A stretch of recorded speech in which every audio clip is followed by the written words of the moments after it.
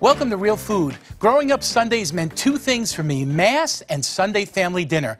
No matter the menu, preparing and eating Sunday dinner is a reason to bring families together. Join me today for Sunday dinner.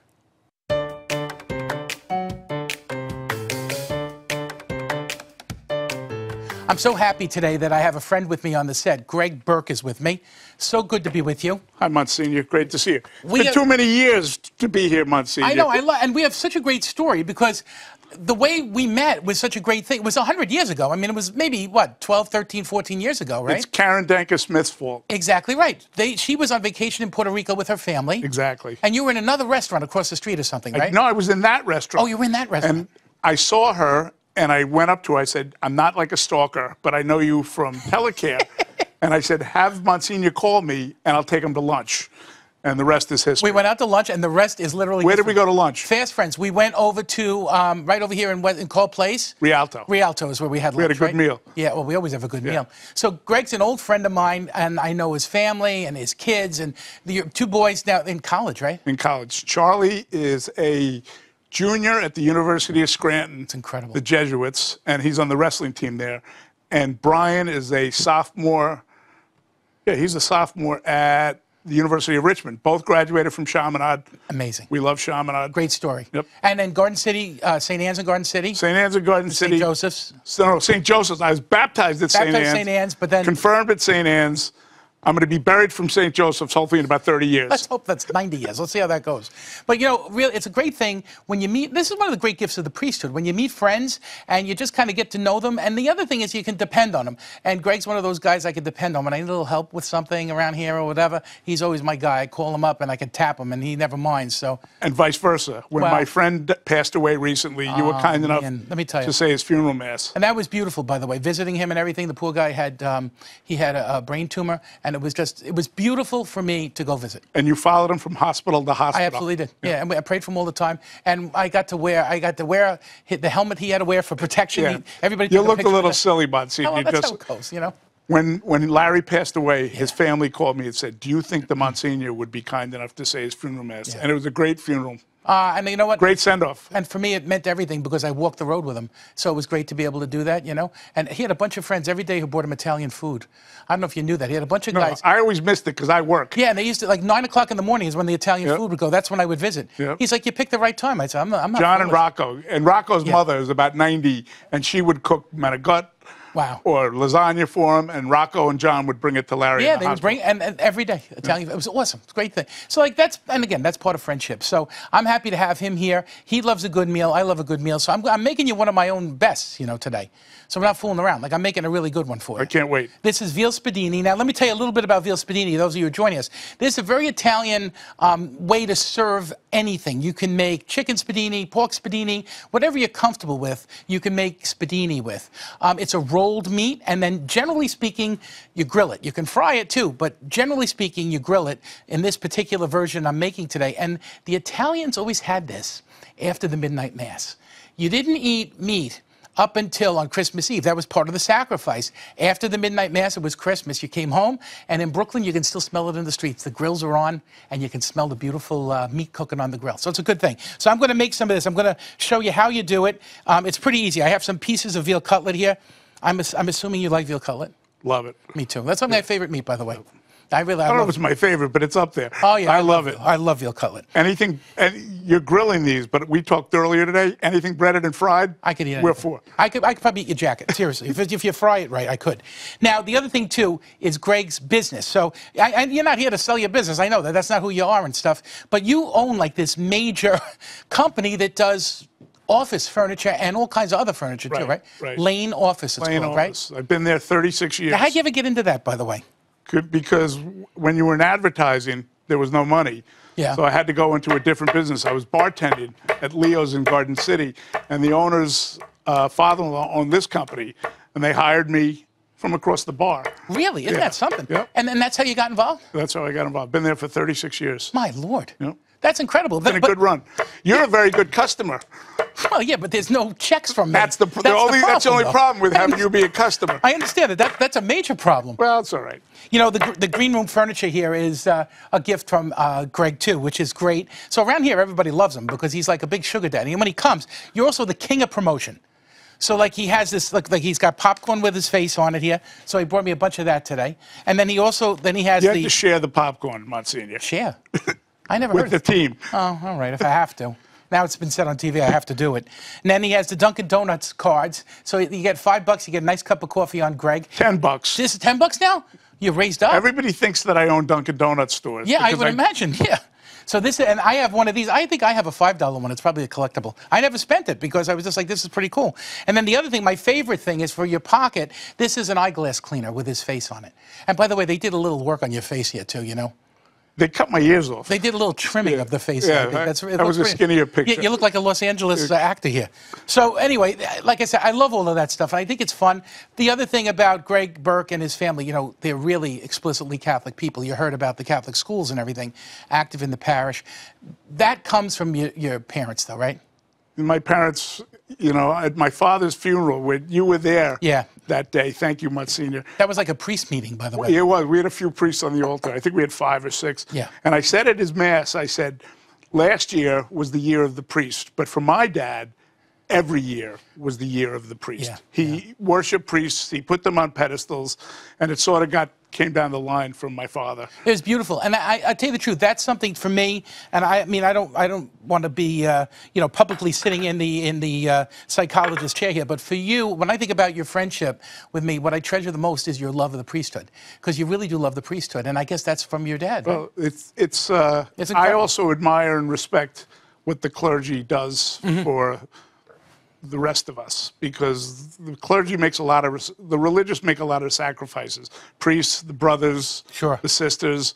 I came. I became very fond of the Marianist brothers uh, from my uh, five years involved with Chaminade. I'm still friends with the brothers, and for very little compensation, the clergy does a lot of hard work, and I really appreciate that. Well, I'll tell you, we know it and we feel it, so it's kind of a nice thing, you know.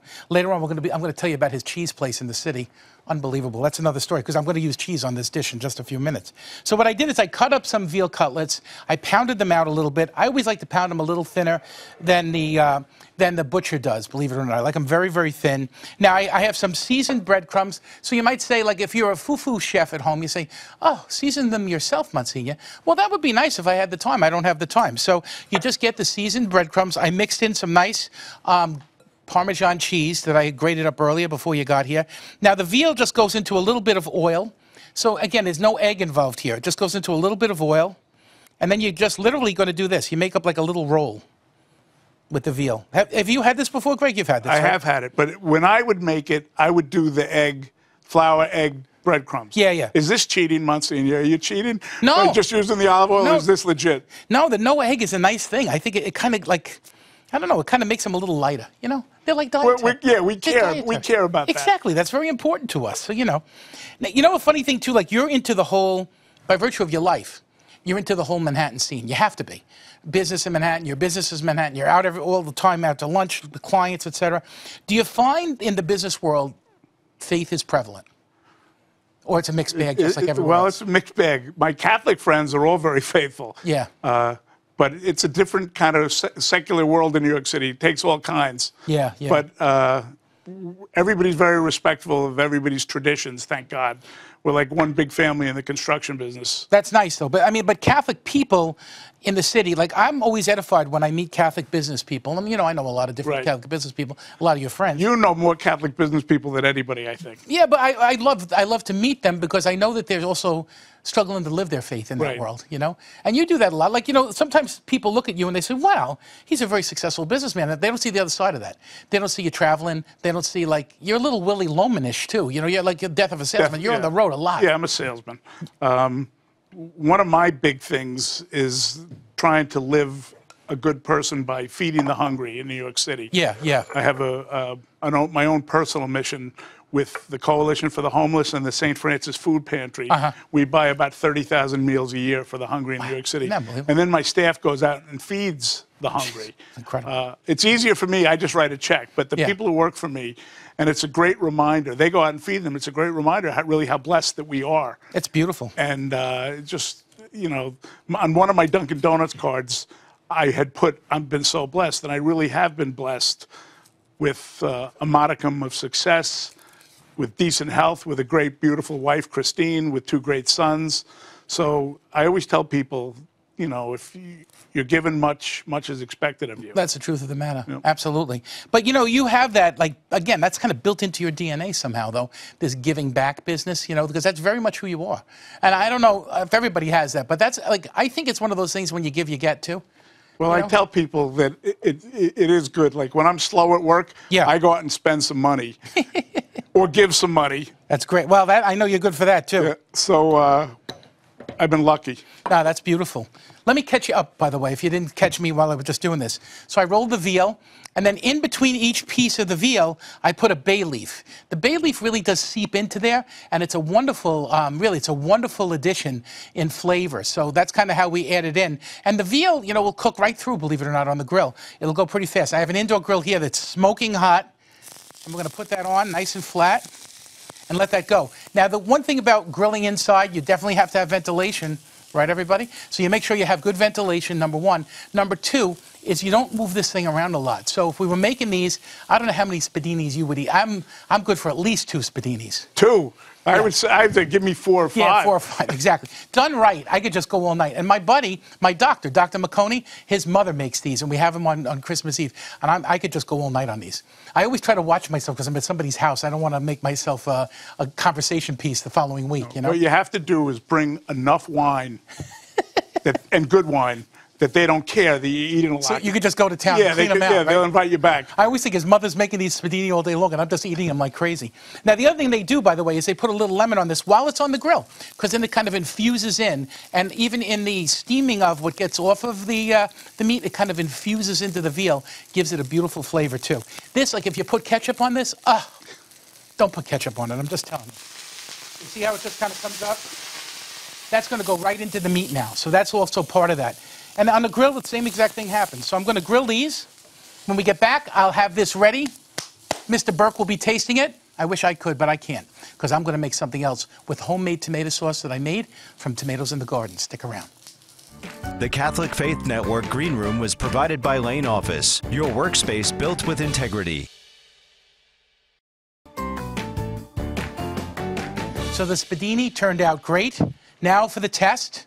So you got to jump in and get one going here. This is why I'm here. That's it. You're going to make sure it's not poison. So, uh, You put it on the plate for me. all right. So here we go. I'm going to give you here. Don't let me eat the bay leaves. No bay leaves because you choke on those, you know, it's no good. But they do give flavor, so just keep that off. There's something there. Here's one here. Get rid of the bay leaf. Here we go. All right? So you work on that a little bit. You let me know what's the story. The story is here's a fig, too. These are homegrown, you know. Where are these figs? I grow these figs. These are No from the way. backyard. I snuck one when you weren't looking. So good, They're right? delicious. They're I like love them. candy. I mean, once a year you get these figs, just beautiful. Can't beat them. Really, God's beautiful creation here. Just, oh, terrific. I couldn't talk with my mouth full. This is unreal. You like it, right? Yeah, there is a God. Now I know. See, there you go. Beautiful veal, I'm telling you. And a little squirt of lemon at the end, you can't go wrong. Now, I every year I talk to you about this. I make my own sauce. So this is my homemade tomato sauce. Now, I'm not kidding on this because my buddy is here. And I wanted them to have the best of what I have. So I grow plum tomatoes, and all I do with these plum tomatoes, and you know I belong to a garden, a community garden, which is beautiful, the Sophia Garden, which is on the grounds of the Sisters of St. Dominic in Amityville. I've been a member there for a long time. I get all of the rotten tomatoes. I said, all of the plum tomatoes that go bad, because when they get dark, you know what happens? That's sugar forming in them. They're even better that way. So I get all the tomatoes, and what I do is I boil them. I take the little uh, stems off, I boil them, and I skin them. And then what I do is cook them down. That's it. That's what that is. Cook down tomatoes with some basil in there too, and just a little drop of olive oil. So then you do it like that. and You can make any kind of sauce you want with these. You can put meat in, meatballs, whatever you want. So this is kind of my nude sauce. That's it. It's just as is. So what I have is some pancetta. I'm going to make a nice pancetta Sunday sauce here. So I'm going to put this into a nice hot frying pan. I'll get the heat up on this thing. And the idea here with this is uh, pancetta. You like pancetta, right? Can't talk. Oh, excuse me. He's I'm busy. busy eating. I'm sorry. I, I forgot you were so busy. Sometimes, you know, we can't even get a guest on this show to eat anything because they're worried about how they look on TV. Not true with Greg Burke. No, I don't care. Not true at all. You're all set. So I put a little bit of pancetta. I'm going to put a little bit of olive oil. Now, pancetta is like an Italian bacon, but it's this part of the pig. So it's sort of right here. They they call it, this is guanciale. This is pancetta. So guanciale is what they use for amatriciana. You only get a little bit off of each pig. Pancetta, you can get a lot more, and it's rolled. So that's why I have a lot of that around. Now, where I, um, I have, where I live, I know a chef that actually makes his own guanciale, and he goes to a butcher. Who's your friend? Who's at that place? Treasure Isle? Treasure Isle in Mineola. That's where he goes. He has all kinds of amazing meats, this guy. It's incredible. And uh, he gets guanciale there, and he makes his own guanciale. Terrific. What's that guy's name? Chris and John Cornetta. Okay, good. The Cornettas, right. The I, met, I, Cornetta visited. I visited their dad. Your dad was a legendary guy, right? Didn't Yeah, he? owned a, a, a butcher shop, a little neighborhood butcher, butcher shop that provided uh, meats to the airlines, to hotels, clubs. Incredible. You would never know. And he has fantastic, yeah, he does have fantastic meat, though, I have to say. It's hard to find a good butcher, you know, but it's important to do that. All right, so the guanciale or the pancetta, whatever you're using. Now, pancetta you can get in your, excuse me, you can get in your supermarket, so no problem. You can get plenty of that. It's coming up nicely. The only other thing I'm going to add is a little bit of pepperoncino. I asked Greg if he doesn't, he likes things a little spicy. He's okay with that. I don't want to hurt anybody's feelings. So I put a little bit of pepperoncino. Now I put it in a little bit of the oil and the fat so that it kind of breaks down a little bit, gets into this beautiful recipe. Now, of, of the famous pastas, you know, fusilli, uh, there's, a, there's a big story with fusilli. I don't know if you ever heard this story. I have a friend who used to be one of the big shots at San Giorgio Pasta, which is a big pasta company that makes all kinds of pastas that you would know, big famous brands. So he says to me, Monsignor, I have to talk to you. There's a, there's a major crisis going on. I said, what is that? He goes, well, in Italy, the factory where they make all the fusilli, for all the different companies, they just use a different recipe sometimes, had a big fire. And the fusilli machine was destroyed. There's going to be no more fusilli. For years, it's going to take to rebuild it. So get the fusilli now. So I called it the fusilli crisis. So I went out and I bought as much fusilli as I could. And I tried to tell people, but they laughed at me. And guess what? Fusilli went away. It's coming back now, but they, they, it took all of these years to rebuild the fusilli machines. Can you imagine that? So I have this beautiful homemade fusilli that my friend Pete at Foods, we're dropping names like crazy today. Pete at Foods of Italia, he makes this all the time. Find a good purveyor and stay with them. That's a good thing. So I'm going to put that in. Fresh fusilli. Great meal. That's what, fusilli is what we had on Sundays all the time when I was a kid. Did you have pasta on Sundays, Greg? I know not, not No, we, Italian. we were Irish. so what do you have on Sundays? Meat and potatoes. Meat and potatoes But my mother was a good cook. But, uh, you said that she was mom- a great baker. Great baker too. Before she died, two days before she died, she was lying on her deathbed, and she was, you know, everybody's coming to see her. And I looked at her and I said, "Mom, get out of bed and bake something." and she didn't say anything. Ah, wow. And I looked at her and I said, "Mom, you're so beautiful." And Ah. the only word she could muster, she looked at me. Yeah. And she said, "You're beautiful." Ah. Her eyesight was going at the end. But she was a great lady and a great cook and Yeah. a great mother to six children and nine grandchildren. Unbelievable. In fact, I have a room at Mercy Hospital, Uh-huh.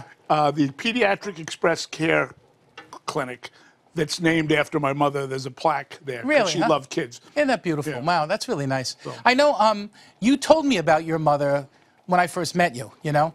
And We met, I think, the week she died. that's what I was going to say. I think it was like she had just passed away. Yeah.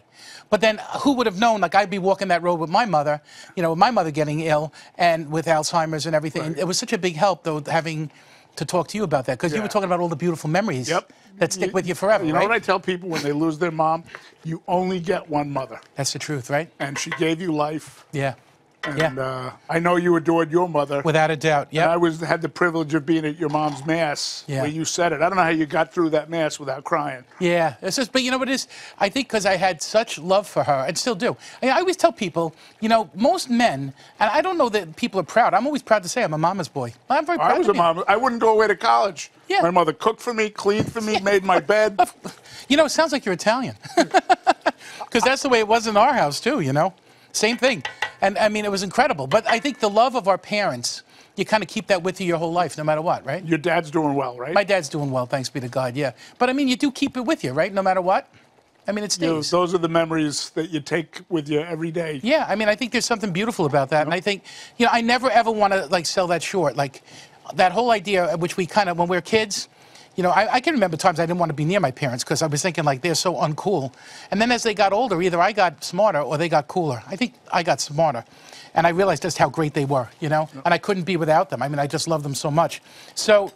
I don't know. There's something about their memory that's so important, right? My mother said to me something that I say to my children.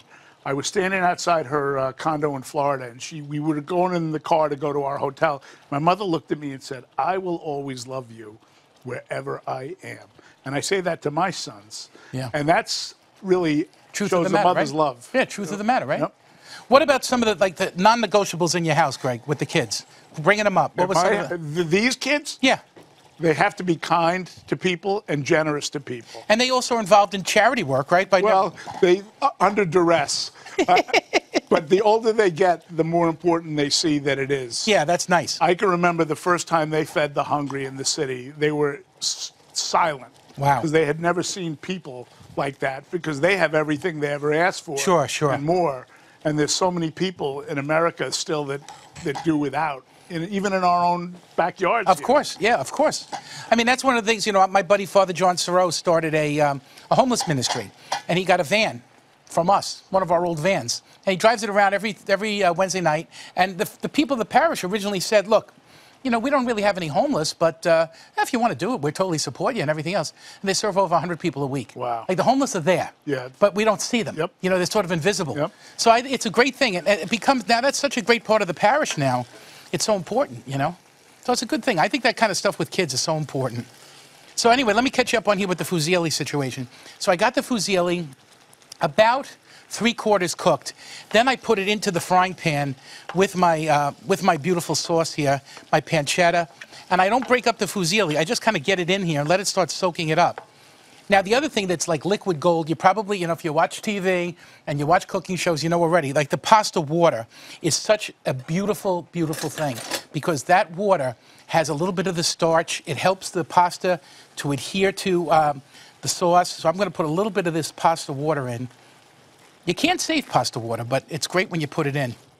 And now the, the, the pasta will just kind of finish cooking. What do you think? This isn't bad, right? It Smells great. Yeah, and, and on a nice, uh, I don't know, nice rainy Sunday, this isn't a bad thing, right? Or, a, or on a sunny Sunday. Or a sunny Sunday, too. Or a yeah. sunny Monday, Tuesday, Wednesday, Thursday, Friday, or Saturday. Doesn't really matter. Any day. Any day's a good day. I agree with you. I'm the same way. So this is good. Look at this. I'm rushing it along a little bit so I can do it for you. That looks so nice. I have a question, Monsignor. Go ahead. Yeah, ask away. I only get to do one show. The way you cook, I could do six or You seven come, shows. You come. You always. You always got a seat at this table, buddy. You always got a seat here. So let me get a little bit of pasta into this. Look at this. Beautiful. Now fusilli, you know, strong, uh, holds a lot of sauce, and that's one of those things I love about this pasta. I like pastas that hold sauce. You know. Lydia, my friend, you know, Lydia Bastianich, she her favorite is bucatini, and bucatini is that very thick spaghetti, but that gets all over your shirt. You know, I don't, I don't know. I mean, you know, you know the dry cleaning bills you got to watch, right? Okay, I'm going to do this. Get the rest of this going. Now I'm going to do a little bit of cheese here. Now I have some Reggiano, Reggiano Parmesan that I'm going to put on this. I'll tell you the story behind that because this is another Greg Burke story. So, as a lot of you know, we do a show with Cardinal Dolan called Conversation with Cardinal Dolan, and he's a great friend to our station and does an awful lot for our station. He's a great, great man. So I was down there one time and I was talking to Greg and he says, "Where are you?" So I said, "Oh, I'm, you know, we have studios there now, and we do on First Avenue in Manhattan, around 56th Street." So he said, "You know, you're right near a great cheese place, Ideal Cheese. Go down to there. You're going to love that place." So me and one of the producers of the show walked down there, and of course, I didn't know that Greg Burke is like the godfather of that place. They love you there. They know you there. I mean, you've been going there for a long time. I, I spend a lot of money there. Is that what it is? All right. So I maybe give cheese out at Christmas. It's Oh. one of the things I'm known for to give to your clients. to give to clients. So I send boxes of cheese. So when you told me you were going, I called Michael Benetti, the owner of Ideal Cheese, and Yeah. said, in momentarily, we'll walk a VIP Monsignor. Make sure you take good care of them and put it on my bill. That So- was it was an awesome visit, and then of course Cardinal Dolan. His final words to me as I was walking out, he says, "Don't forget to bring me back some cheese." So I go and I get the cheese. These guys are terrific. Sometimes again, it's worth going to the cheese purveyor, um, and you know the websites. If you if you Google it, there's websites all over the place. But if you're in Manhattan, this Ideal Cheese, I'll tell you, they have more cheese than any cheese store I've been in in my entire life. I mean it. They have hundreds of cheeses in and there really good cheeses. And excellent cheeses. And they also know like what you like. So they'll say, are you in the mood for soft? Do you want strong? You want mild? Do you want milky? Do you want goat's milk? Do you want all of these different things? And I've gone, I've run the gamut with them. So I brought in the good cheese too for you. So this is my. Um, this is my Parmesan cheese from them. Now they get this from a separate purveyor in Italy, and I got to tell you, we tried a little piece before. It's terrific, Delicious. right? So I'm going to put a little bit on here. For me too, cheese you really just can't have enough of it. You know, I just love cheese. I love to get a nice. It's not fattening either. No, this is the light kind. Yeah. Because you know what it is? If you grate it very thin, Yeah, it's hardly any calories. there's no calories in it. If I cut this chunky, we would have trouble. Yeah, we won't do it that way. Okay, there we go. So look at that. Now that's just, I to me, this is like Sunday. This is a beautiful Sunday. You know, if you like a jug of wine, a nice glass of wine with this, this is great. All right, pal, you try this too. And see what you think. The shirt is clean. Yeah, I know. Let's I feel, see if I can get I feel bad no about bibs. that. I know. I feel bad about that. For me, that's one one good thing about wearing black. You know, it hides a multitude of sins. A lot of times, some of you say to me, "How do you do this?" And you never get food on you. You know, a lot of times it's because I'm wearing black. It works out. You know, it's not bad. What do you think? Perfectly cooked al dente. That's the sauce is delicious. The sauce is good, right? Sauce from the backyard. You can't beat that. We'll be right back with more real food.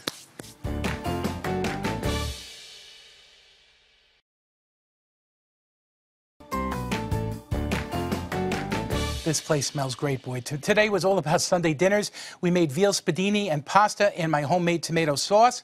You know, good food is only as good as the people you eat it with. Eating together is as important as anything to a family because it helps create fellowship. It's a time to reconnect, open up with one another. And in the Gospels, we see that Jesus spends a lot of his time eating with others and making meal times a significant part of his ministry. They created community, and in Jesus' case, showed his love for his followers. Pope Francis has said sitting at the table for the family dinner and sharing our meal and the experiences of our day is a fundamental image of togetherness and solidarity. He also said that food isn't the only thing shared at the table, but also affection and the happy and sad events of the day. And that's an important part of all of our lives. Also, again, who you have it with. I want to thank you, my friend. Love you. Thank, you, so much. Monsignor. It's a Great great, to- great friend. great to be with you. Lucky to be with this guy. He's a great friend for a long, long time. And it all be ha- happened because of what you're doing right now, because he watched us on TV. So it's a great, uh, great, great gift. So before we leave, why don't you join me in this simple prayer that we pray before meals? It's one of the early prayers of the church from the fourth century. We ask God to bless us once again. Bless us, O Lord, and these thy gifts, which we are about to receive from thy bounty, through Christ our Lord. Amen. Thanks for joining us today. For a copy of the recipes, visit our website at cfntv.org or email realfood at cfntv.org. We'll see you next time on Real Food. Real food set and appliances has been provided by Ciuffo Cabinetry, a family tradition of fine woodworking since 1907. Ciuffo Cabinetry has been filling the custom cabinetry needs of the New York tri state area for over 100 years by combining old world techniques with modern technology to provide the finest custom kitchens and millwork. Luxury appliance innovators Sub Zero, Wolf, and Cove. Cosentino, a Spanish company world leader in the production and distribution of innovative surfaces for architecture and design. Silestone, Dekton, and Sensa by Cosentino, technologically advanced surfaces that allow the creation of unique designs for the home and public spaces. Blackman Plumbing Supply. Visit a Blackman showroom today and let their specially trained design consultants help you find the luxury plumbing, tile, lighting, and stone products you need to make your project a success. Top Knobs, the designer's choice.